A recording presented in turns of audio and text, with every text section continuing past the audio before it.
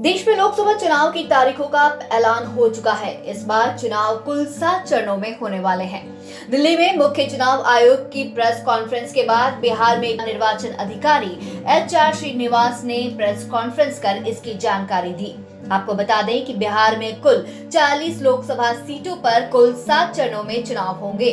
बिहार में पहला चरण 11 अप्रैल को, दूसरा चरण 18 अप्रैल को तीसरा चरण 23 अप्रैल को, चौथा चरण 29 अप्रैल को, पांचवा चरण 6 मई को, छठा चरण 12 मई को और सातवां चरण 19 मई को होगा।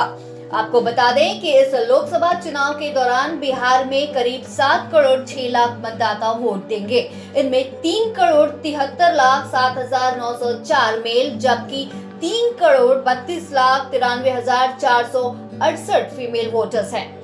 इस वीडियो के माध्यम से हम आपको बताएँगे कि आपके गया लोकसभा क्षेत्र के बारे में वहाँ नॉमिनेशन से लेकर कब होंगे चुनाव, इसकी भी पूरी जानकारी आपको देंगे।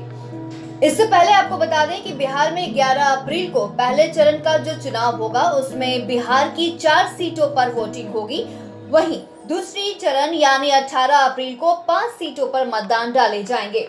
तेईस अप्रैल को तीसरे चरण के चुनाव में पाँच सीटों और 29 अप्रैल को चौथे चरण में पाँच सीट, पाँचवें चरण यानी 6 मई को भी पाँच सीटों पर मतदान होगा।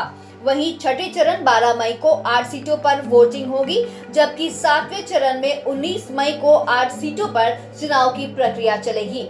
अब आपको बता दें कि बिहार में आपके गया लोकसभा सीट की चुनावी तारीखों के बारे में गया लोकसभा सीट के लिए पहले चरण में, यानी 11 अप्रैल दिन गुरुवार को चुनाव होंगे।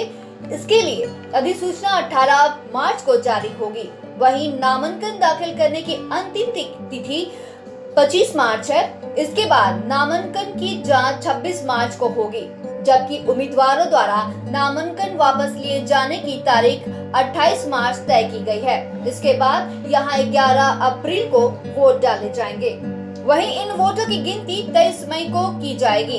मालूम हो कि गया लोकसभा क्षेत्र में कुल 16 लाख अंठानवे हज़ार सात सौ बहत्तर वोटर्स हैं। 2014 में हुए पिछले लोकसभा चुनाव में यहाँ से बीजेपी की हरी मांझी ने आरजेडी के रामजी मांझी को हराया था।